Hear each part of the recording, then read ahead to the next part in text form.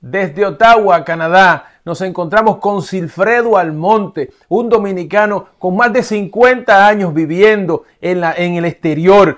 Y lo tenemos aquí, que aparte de eso es presidente de la Asociación Cultural Dominicana. ¿Qué mensaje usted le da a los dominicanos que viven en la diáspora? Le doy el mensaje de que nos unamos que cada día más vivamos unidos porque podemos llegar más lejos.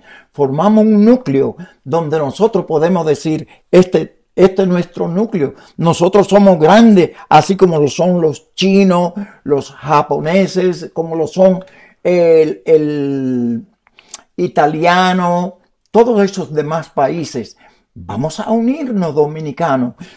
Unidos somos más y nos escuchamos y nos queremos más interesante.